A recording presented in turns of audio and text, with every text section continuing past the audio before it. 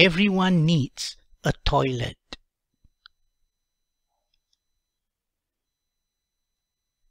A friend who had been through painful times dropped by to apologize.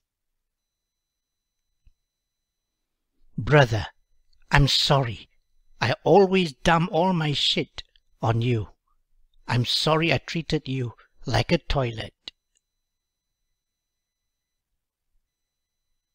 It was rare to see a man cry so hard.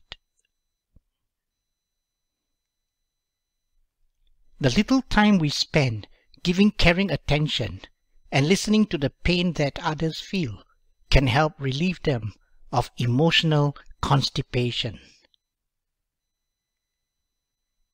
The tears they shed may clear their eyes and help them see through their troubles.